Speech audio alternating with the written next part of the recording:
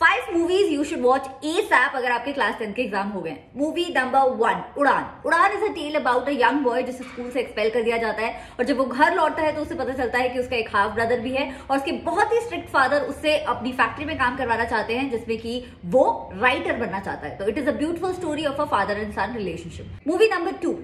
legally blonde society में हमें अक्सर ये स्टीरियोटाइप सुनने को मिलता रहता है that pretty girls are usually dumb इस स्टीरियोटाइप को ब्रेक करते हुए लीगली ब्लॉन्ड की मेन कैरेक्टर एक बहुत ही बड़े लॉ स्कूल में एडमिशन लेती है to prove that she is not just her good looks movie number three Stanley का डब्बा. इस मूवी का जो मेन कैरेक्टर है, वो अपने स्कूल में फ़ेमस है, अपने अमेजिंग लंच बॉक्सेस के लिए जो वो हर दिन लेके आता है. लेकिन इसके लंच बॉक्सेस के पीछे की कहानी थोड़ी ज़्यादा ही रियल है. This is a beautiful tale of a boy full of compassion and kindness movie number four book smart book smart is about two girls जिन्हें ग्रेजुएशन के बाद रियलाइज़ होता है कि उनके पेयर ग्रुप ने उन्हें सेट असाइड कर दिया है बिकॉज़ वो ज़्यादा ही कुछ बुक वॉर्म और नर्डी हैं। बाद में they let loose and try to make up for the old times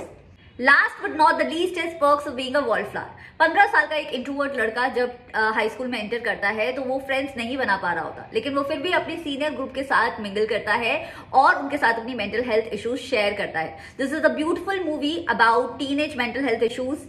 and much more I hope you enjoyed the suggestion इनसे कोई मूवी आप देखें और आपको बहुत पसंद आए तो मुझे ज़रूर बताइएगा. I see you next time bye